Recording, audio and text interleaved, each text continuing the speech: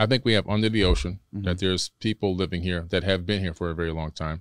I think you also have multidimensionals, beings that are in higher dimensions or other dimensions that know how to match their subatomic frequency to our particular dimension. And then also, I believe that you have beings that are that are light years away that can travel here. They're probably using something like a warp drive. In a warp drive, what really happens is you actually shrink space in front of the ship and you expand it from the back. So in essence, you're like you're sitting on a tablecloth and then somebody's pulling the tablecloth. And so you're riding the tablecloth. You never really go anywhere.